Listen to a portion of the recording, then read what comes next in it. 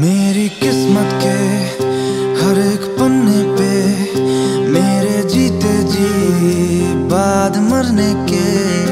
मेरे हर एक कल, हर एक लम्हे में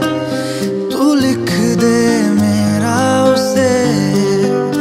हर कहानी में, सारे किस्सों में, दिल की दुनिया के सच्चे रिश्तों में